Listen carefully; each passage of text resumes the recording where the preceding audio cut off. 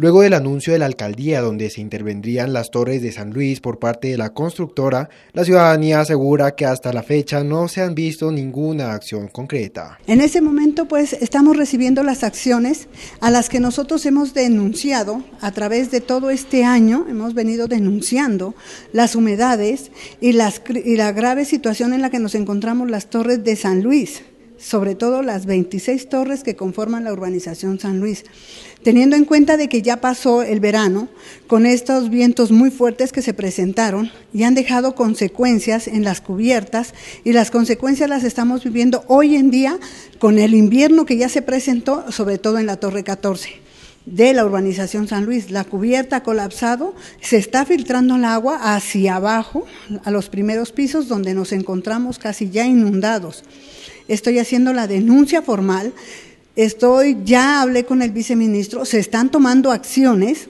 pero hasta el momento la torre no ha sido intervenida.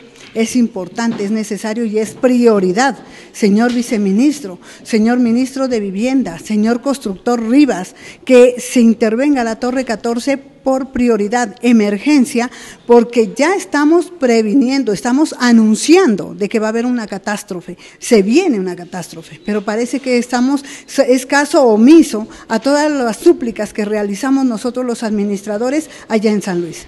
Por otra parte, la temporada de lluvias ya está afectando gravemente las viviendas de los habitantes. Está el Ministerio de Vivienda, el viceministerio, como garante a la intervención que la constructora debe realizar. Sí, llegaron unos ingenieros a revisar las cubiertas, más sin embargo, hasta ahora no tenemos ningún informe de qué hallazgos se realizaron en las cubiertas de las 26 torres de la urbanización San Luis. Más sin embargo, como ya le vuelvo y le reitero, le repito, y soy cansona ante los medios y dándoles las gracias a ustedes de que tenemos una calamidad, una calamidad en la puerta.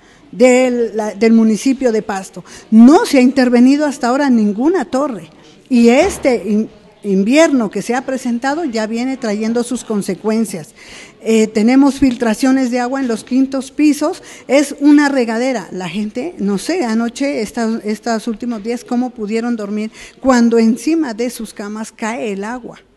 No sé, hay, hay muchas de las familias que se fueron a dormir a otros lados. La comunidad pide una pronta solución y se espera la intervención de la constructora.